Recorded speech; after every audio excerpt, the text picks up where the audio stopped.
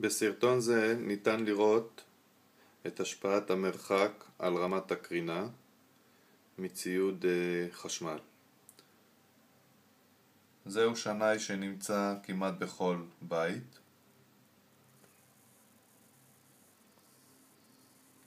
וזהו מכשיר המדידה למדידת קרינה. נראה את ההשפעה של המרחק על רמת הקרינה. כרגע אני במרחק של מטר מהשנאי ורמת הקרינה שנמדדת בערך 1 מילי גאוס.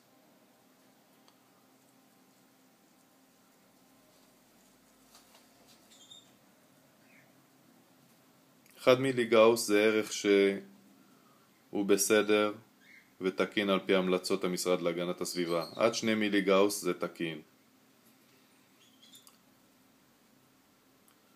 אני מתקרב לעבר השנאי ובמרחק של 40 סנטימטרים הערך מגיע לכדי 4 מילי גאוס.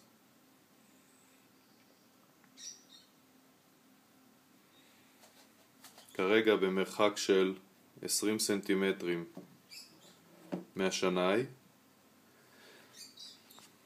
הערך 15 מיליגאוס גבוה, גבוה מאוד.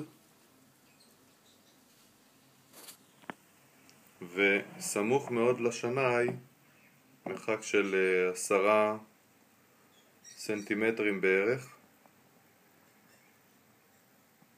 רמת הקרינה מגיעה ל-34 מיליגאוס, ערך גבוה מאוד שנאי כזה נמצא כמעט בכל בית וההמלצה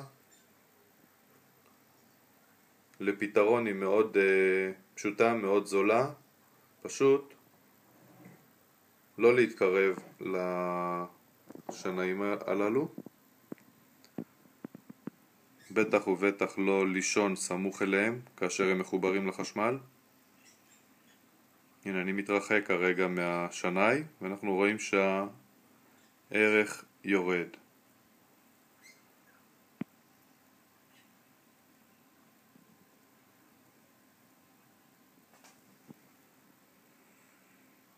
זה במרחק של מטר בערך.